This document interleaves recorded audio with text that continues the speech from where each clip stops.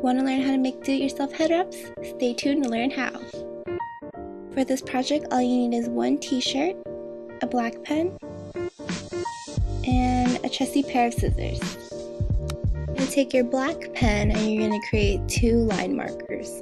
So you're going to want to make the markers about 5 to 8 inches from the bottom of the shirt towards the middle.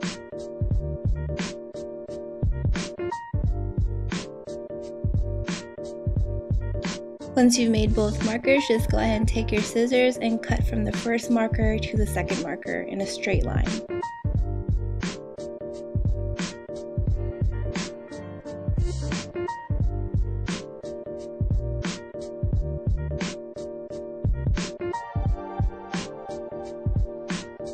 After you've cut it, just go ahead and take it off and stretch it.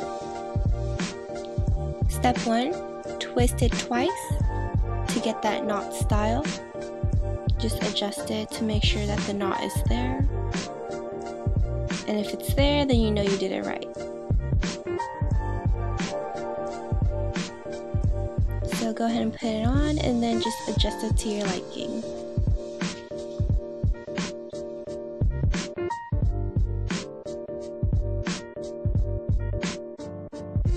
And that's about it. So that's the easy do it yourself head wrap.